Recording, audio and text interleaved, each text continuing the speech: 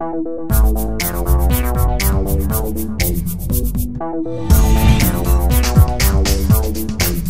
li je primjena sporozama o integrisanom upravljanju prelazima e, na Kosovu koraka priznavanju nezavisnosti?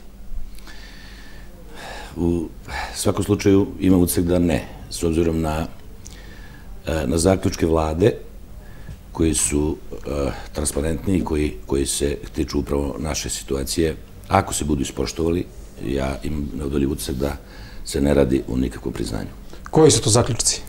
To su zaključci vlade Republike Srbije, koji ste imali priliku da vidite, od tačke 5 do tačke 8, koji decidivno ovaj, naša prava jednostavno e, odlažu do e, pregovora i razgovora vezano za same te, te teme. E, da li mislite na pisane garancije koje ste dobili od državnog vrha vezano za prelaz upravo? Naravno, upravo na to mislim. Ti zaključci su proizvod naših, naših, da kažem, zahteva, odnosno naših ovaj, odluka, odnosno naših zaključka četiri opštine, kojim smo upravo tražili ovo E, šta smo dobili od vlade Republike Srbije. Dakle, te pisane garancije konkretno podrazumevaju da e, pre svega ljudi sa severa mogu da, da koriste svoje lična dokumenta, lične karte, vozačke. Isto tako, takođe, nismo pomenuli, čini mi se da se odnosi na registarske tablice, tako? Da. A, što se tiče carina?